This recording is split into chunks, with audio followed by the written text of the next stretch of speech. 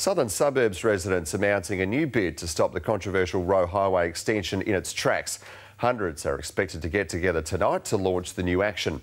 A plan to extend Roe Highway 5 k's from the Kwinana Freeway to Stock Road was given the green light earlier this month. It's designed to solve traffic congestion issues, but the six-lane road will cut through 100 hectares of wetlands in Beeliar and Northlake. Alannah MacTiernan is preparing to spearhead this new push. Alannah, good morning to you.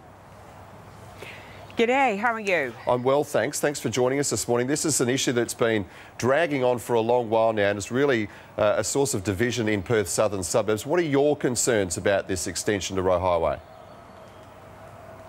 Well, my concern is that it's the, the wrong road being built for the wrong reason.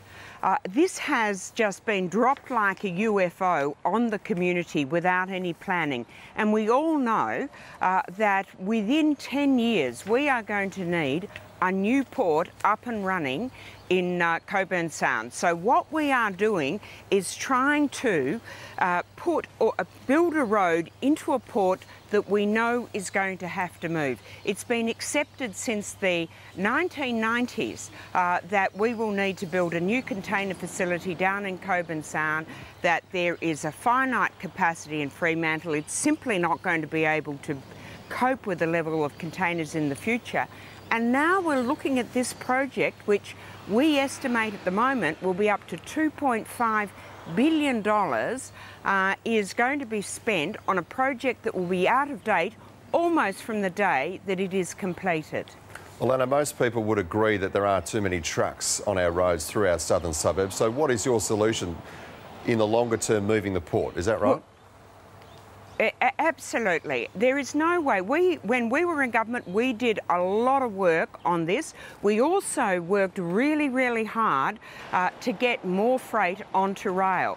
Quite frankly, there are major constraints in doing that in, um, in, into the Fremantle port. So just going to rail alone is not a solution. What we need to do is to move the port down, as has been done elsewhere, as has been done in Sydney, as has been done in Melbourne, where you take the port out of a, a really old constrained area built more than 100 years ago and you put it into a new area. This, this time, Cockburn Sound, that's been agreed uh, for the last 20 years. You build the road and rail corridor into that port so you've got modern facilities, modern road and rail going directly into the port.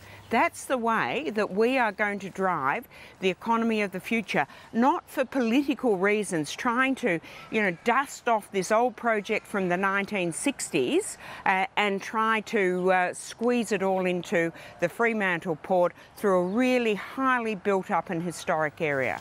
All right, this is a massive issue, Alannah, and we'll be following this one with interest. We thank you for your time this morning. Absolutely. Thank you.